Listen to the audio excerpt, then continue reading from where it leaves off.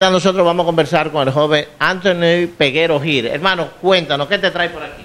Bueno, me trae eh, un abuso que me hicieron los oficiales del orden, diría yo, pero ahí fue el desorden. Eh, eso fue el 29 de agosto, como a las 10 y media de la noche. ¿Sabes? Yo soy un padre de familia, eh, soy motocón, yo tengo mi motor, tengo un salón, también trabajo en la prensa, soy primo de Tito Gil el periodista y yo iba con un joven, un hotelero, lo llevaba en el motor y de repente me pararon eh, tres oficiales.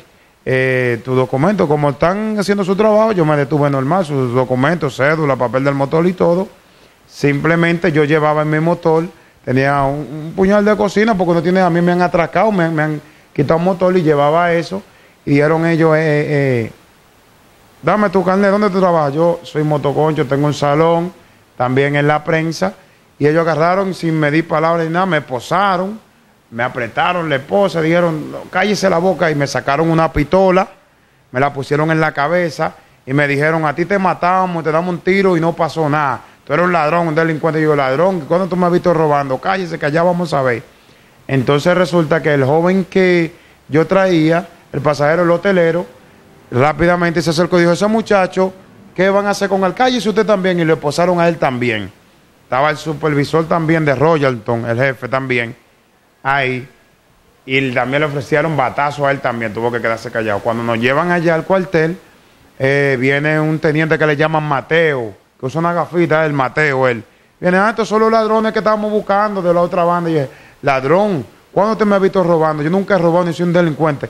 Yo lo que hago es trabajar, tengo tres hijos, tengo un salón tengo mi motor que me busco mi comida, también trabajo en prensa.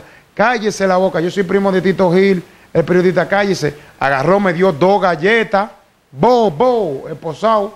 Me dieron en el pecho pila de tabaná, agarraron un bate, me dieron pila de batazo, mucho batazo.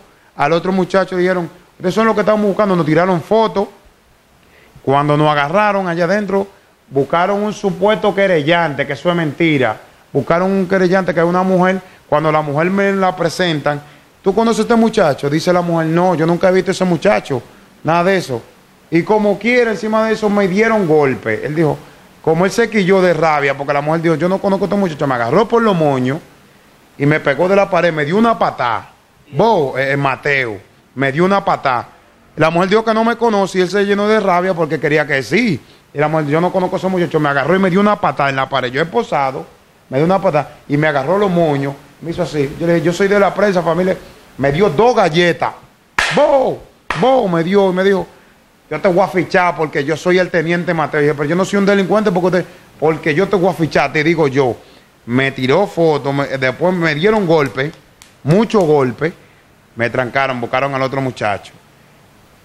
Se combinaron con la mujer porque es un negocio. Dije que ella antes era de Decrin y la votaron por viciosa y no sé, ella y el, otro que le llaman Ramón se combinaron de que de un teléfono. En fin, que al muchacho le dieron golpe, palo, palo, palo. El muchacho es familia de un, de un capitán. La policía, pero no estaba ahí. Le dieron golpe, golpe, golpe, golpe, golpe, golpe. Después me volvieron a sacar. Me dieron tabaná, galleta. Eh, los policías, hay unos policías, hay unos que le llaman Severino, eh, Castillo. El otro, descarto el nombre, un blanquito largo que están ahí abusando en la otra banda, dándole golpe a la gente sin compasión.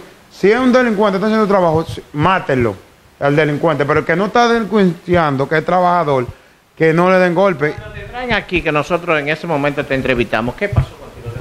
¿Te no, cuando me llevaron allá, dijeron, no se apure que ahora que ustedes van a coger una vuelta, me metieron por un cuarto y me ficharon. Agarraron mi mano y el otro y nos ficharon. Dijeron, yo, pero comando, ¿por qué usted me ficha? No, porque una orden de Ramón de allá que a usted había que ficharlo. Hicieron un expediente de motor. Hicieron un expediente de motor y yo tengo mi motor. Incluso iban a agarrar mi motor que me costó. agarraron